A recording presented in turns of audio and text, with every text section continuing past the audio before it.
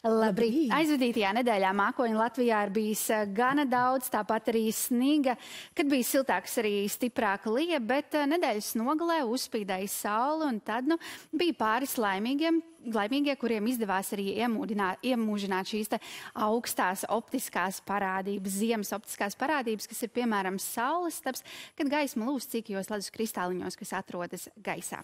Turpmākajās dienās arī saule vietām uzspīdēs, bet no nedēļas vidus mākoņu būs vairāk un laiks kļūs nokrišņiem bagātāks. Tādēļ brīdinājuma lapa būs tā, kurai noteikti cītīgi jāsako līdzi. Bet eh, šis rīts gan ir mierīgs, bet augsts un zemākā gaisa temperatūra saglabājas valsts rietumos un arī valsts centrālajā daļā, kur termometri stabiņš vietām vēl aizvien ir ap mīnus 10, mīnus 12 grādiem.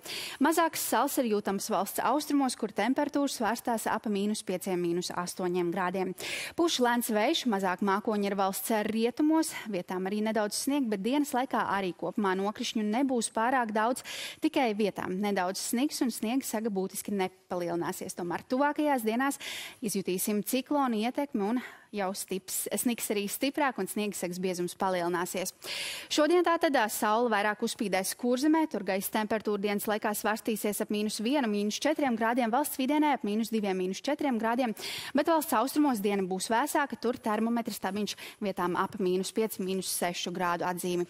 Putīs lēns vējš un mākoņi vairāk būs valsts austrumos, tomēr snie, sniegs būs gaidāms gan valsts austrumos, gan arī rietumos. Rīgā gan šī diena aizritēs bez būtiskiem nokļuviem nokrišņiem minimālā gaisa temperatūra dienas laikā būs ap mīnus 2, mīnus 4 grādiem un vakarpusē arī temperatūra pakāpeniski sāks pazemināties. Turpmākajās dienās, kā jau minēju, saitīsim ciklona ietekmi Otradien valsts austrumos sniks un sniegseks biezums palielināsies par 5 līdz 10 centimetriem. Savukārt trešdien mūsu teritorija sasniegs jauns ciklons no dienvidiem un sniks ilgstoši gan dienas laikā, gan arī vēl naktī uz ceturtdienu. Sniega saga kļūs arvien biezāk.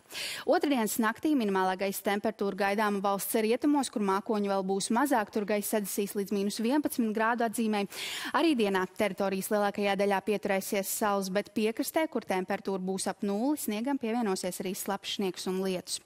Savukārt trešdienas naktī arī temperatūra līdzīga - mīnus 11, mīnus 3 grādi, dienā 0, mīnus 6 grādi un pastiprināsies arī vējš. Līdz ar to jārēķinās, ka brīžiem arī putinās.